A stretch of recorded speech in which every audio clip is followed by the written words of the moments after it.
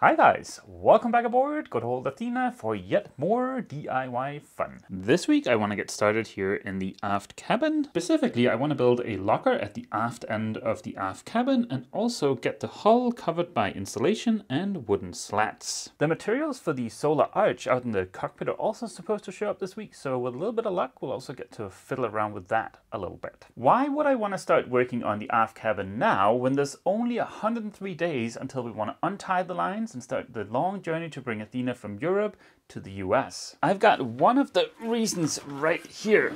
This is Athena's isolation transformer. Both the isolation transformer and the Quattro 5000 inverter charger are going to get mounted on the bulkhead at the very aft end of the aft cabin.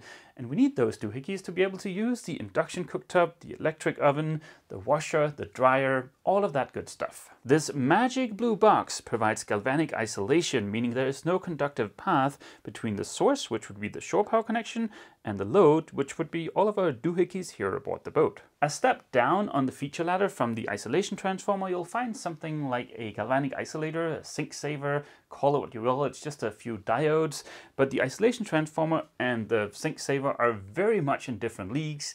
The isolation transformer is much heavier, much more expensive, but also much, much spiffier. Both from a feature standpoint and from a safety standpoint, the isolation transformer is the clear winner. And as a little bit of added sugar on top, when we make it to the US, the isolation transformer will step 110 volts up to 230 volts, which is what we need for all of our appliances. But let's not get bogged down in a bunch of technical yammering on. That's better saved for a later video. For now, I have got a locker to build. After a little bit of measuring and head scratching, I used a piece of MDF as a template to help me figure out the size of the bottom, used a joggle stick to get it exact, transferred that to plywood, and cut that to rough size, and then trimmed some holes for the wiring, and removed a bit of the old tabbing to make room for the new tabbing. And here we are. The bottom of the locker is now ready to get adhered in place. I'll use a little bit of epoxy thickened with 406 to adhere the bottom in place. With the temperatures we're having here right now, it shouldn't take more than a couple of hours for the thickened epoxy to gel. So if I apply a generous fillet of this stuff and wait a few hours, then I can lay up the tabbing, I can push down on the bottom without worrying about it shifting on me. Not only will the thickened epoxy secure the bottom, it'll also be easier to lay up the fiberglass one of these wooden disposable spoons makes for a great tool for forming the fillet. That looks perfect. Now we play the waiting game. I might as well use that bit of time to get set up with the fiberglass I need. The only place I'm gonna lay up more than a couple of layers is up against the side of the hull. But for the rest, it doesn't really need to be that strong. Fiberglass, fin roller, brush, gloves, chop chop thickened epoxy. It's been about an hour and a half and this stuff is starting to firm up pretty good, so let's mix up some epoxy. That's a 10 pump it.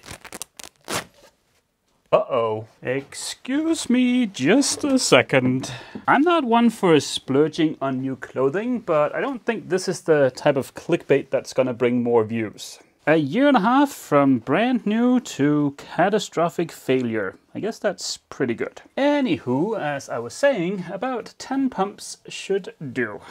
It's gonna be far easier for me to wet this out here instead of trying to do it on the surface of the hull. This is gonna be faster and a lot less messy. I got the bottom tab to the hull and the rest of the boat. The last thing I did yesterday was to use a laser level to mark the position of the supports for the wooden slats. I sanded the hull to get a good bond and then used more thickened epoxy with a little dab of hot glue to secure the supports while the epoxy cures. It's the next morning and this is now very much a permanent part of the hull. Now I need two layers of this plywood to be able to have enough room for the insulation, but pushing in two layers of the plywood required quite a lot of force. So I decided just to start with one layer and then today I can use a little bit more thickened epoxy and a screw to pull the two together.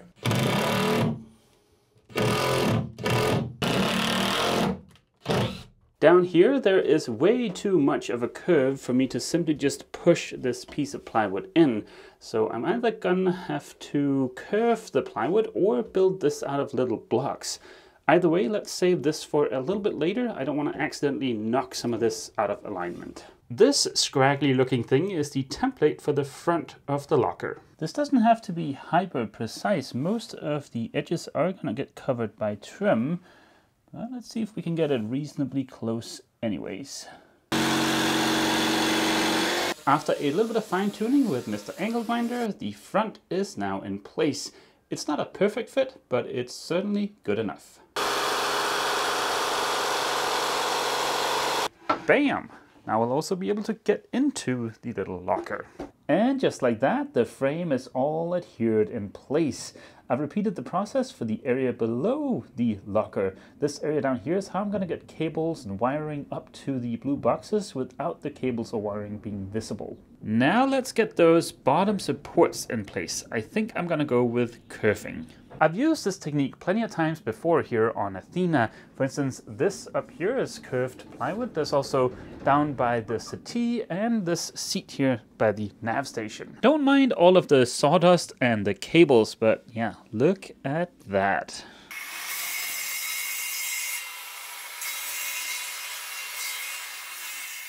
The plywood is now super easy to get to conform to the shape of the hull. I hardly even have to push in on it. The astute are probably thinking, but wait, what about all the cuts? Well, those are gonna get filled with a little bit of thickened epoxy. And just as before, the back gets a little dab of hot glue and yet more thickened epoxy. I'll secure the front with a screw just to make absolutely sure nothing shifts around. It's the next day and the epoxy has cured nicely, so I've swung by the workshop and picked up all of my mahogany slats. The slats are going to cover up the insulation that's going to go in between the supports.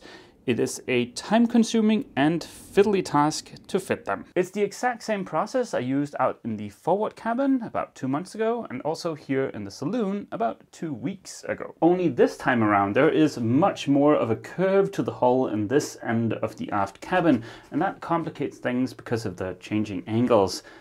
But we'll get through it, it's just a little bit of a fiddly process.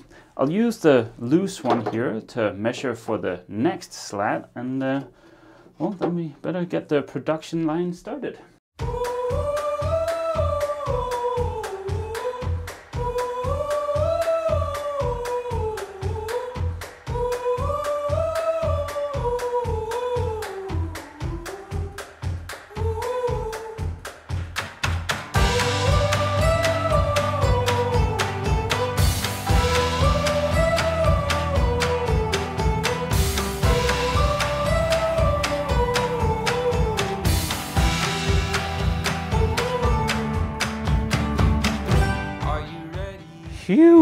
That was about six hours of fiddling around, but at least it looks pretty dang spiffy. Now I'll remove all of the slats again, number them and bring them up to the workshop where I'm going to varnish them.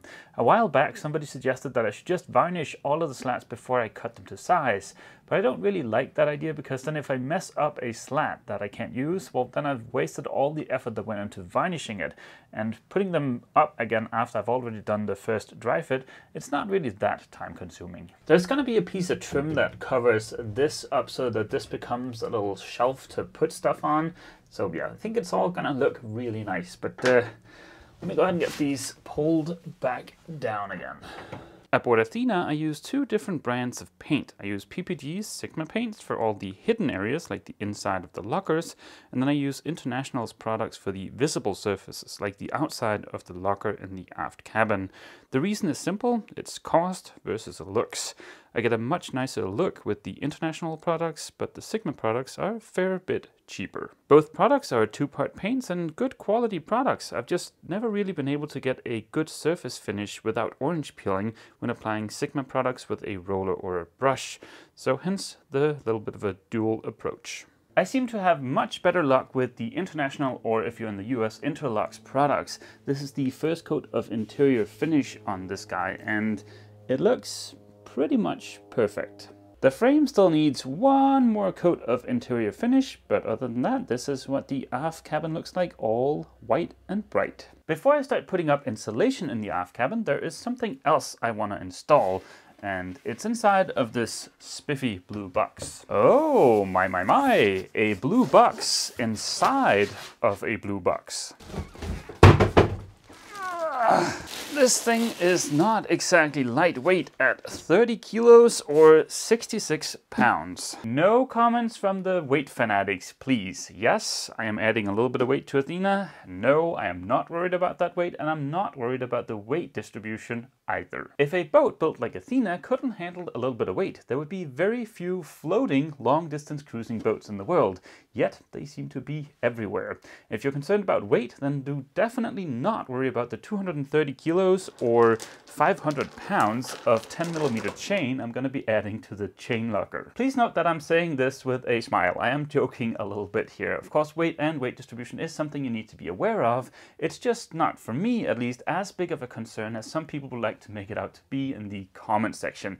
I think it all depends on where you come from. If you come from a smaller boat, a lighter boat, or maybe a super performance geared boat, well then yeah, weight is probably going to be more of an issue for you. But for Athena, the inverter charger, the gensets, the batteries, all of that, it's perfectly fine. Anywho, this chunky monkey of a blue box is our inverter charger. It's the Quattro 5000.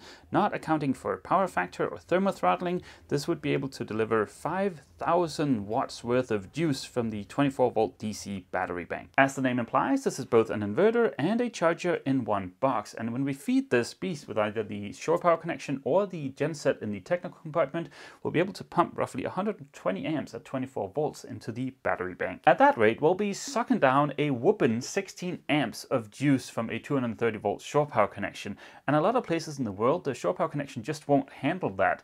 And in that case, we'll simply just dial back the awesomeness of the blue box a little bit. But it brings us to another cool feature of this box. Right here on the front of the box, it says Power Assist. This is not a feature that's unique to Victron gear or even to the Quattro. The Multiplus also has this feature. But what it means is that if we're somewhere where the shore power connection is too weak for us to power, for instance, the induction cooktop or the electric oven, well then this blue box will suck out a bit of juice from the batteries to boost up whatever we can get from shore so that we can actually run what we want to run. Let's say we're somewhere in the world where we can only draw a few amps from a shore power connection. That's not enough to run, for instance, the dryer, but it is enough to charge the batteries over a longer period of time. And then if we want to run one of those high peak loads, well then the power assist feature will help us boost the shore power connection. In that regard, the batteries act kind of like a buffer. Of course, in this example, we could also just run the genset, but you guys get the point. Power assist, really cool feature if you have high loads on a boat and you're not entirely sure how good the shore power connection is going to be. Monitoring and managing power consumption here aboard Athena is going to be very important. And to help us do that, I've got this GX50 touch display that we're going to mount right up here. This display will make it super easy to understand what's flowing in from, for instance, solar, the high output alternator, the genset, shore power, whatever, versus what's being consumed by, for instance, Ava's hairdryer. The decision to go full electric for cooking with induction and electric oven did have some associated cost. This is a fairly expensive blue box at roughly the equivalent of 4,000 US dollars. You might be thinking, holy turd, that's a lot of money to spend just on cooking. And that would be true, but getting this big inverter has some other upsides.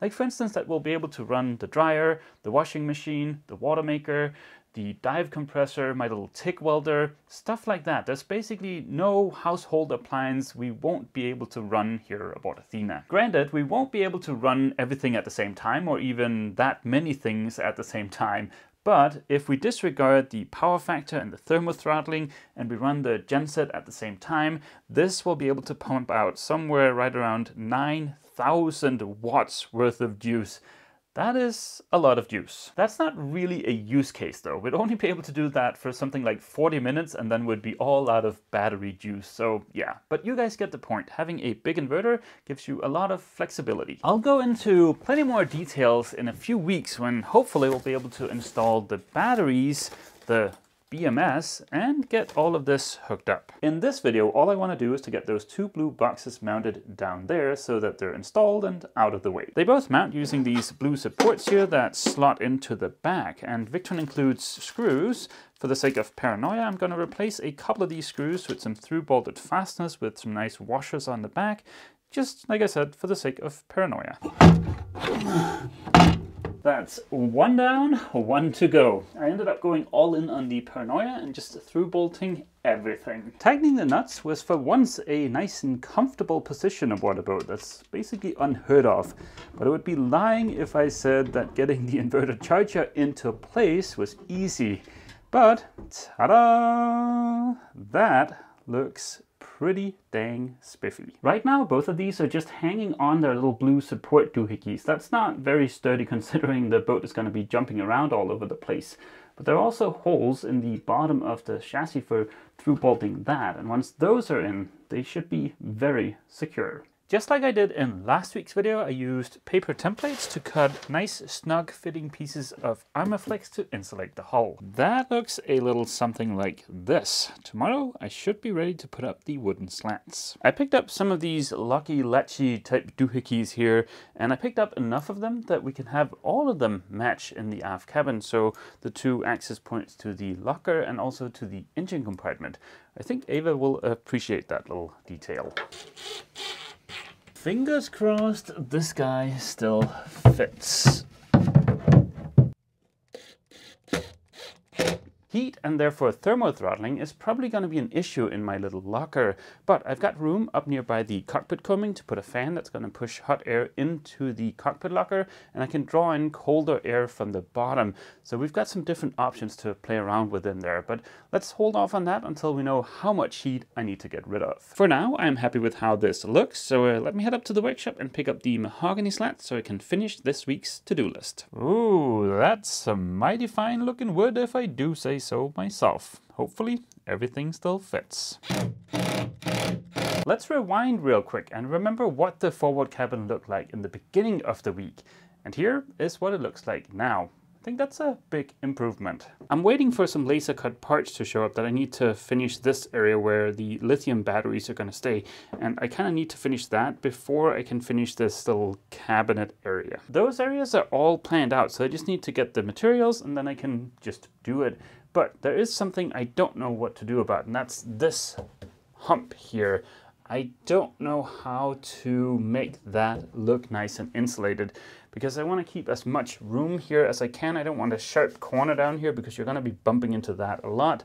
So yeah, that's a little bit of a head scratcher. Monday, I'm driving down to pick up the first load of the new cushions for the boat. But uh, yeah, those are of course banned from the boat until I'm done being a Dusty McDusterson. So yeah, maybe you guys will see a quick glimpse of them. But after I've picked up the cushions, I think I better get started installing the tracks. This is the one for the staysail and the one for the headsail should show up in the beginning of next week. It would also be cool to get started on the head soon. I don't know if it's too soon because as you might be able to see, it is kind of my storage area, but it is one of the larger unfinished areas I still have to deal with. So it would be good to get started soon, but yeah, maybe next week. But today is Sunday, and that means this video is going to go live in a few hours, which means I better get to editing. So uh, yeah, I hope to see all of you guys back here at Athena next week for yet more DIY fun. As always, feel free to leave a comment down below, and don't forget, if you've enjoyed this video, remember to leave a like. See you!